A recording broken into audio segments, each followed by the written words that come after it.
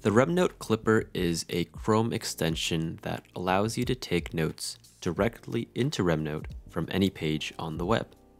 Let's add it to our Google account. In the Chrome Web Store, type RemNote Clipper and add to Chrome. And now we can see it's here to use.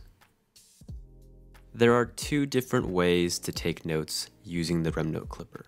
So let's demonstrate on this article about aging. First is the quick capture. Simply click on the RemNote Clipper and a pop-up will appear where you can type what you want to record and click Add Note. The RemNote Clipper will automatically generate a document for this page and include the source URL into your RemNote. That way you can refer back to the page at any time. The second way is to take notes side by side with the web page.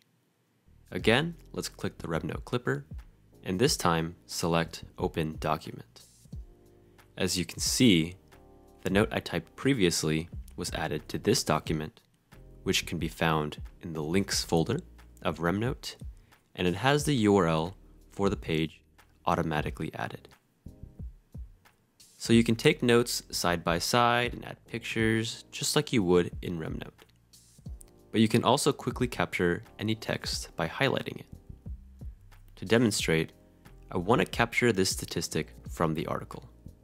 So I'll highlight over the text, and then I can click Add, and it will be imported directly into RemNote. And if you happen to take notes on this page again in the future, RemNote won't make another document for it, since one's already been made with the source URL. So all those notes will continue to be added to this document. And that's how you use the RemNote Clipper.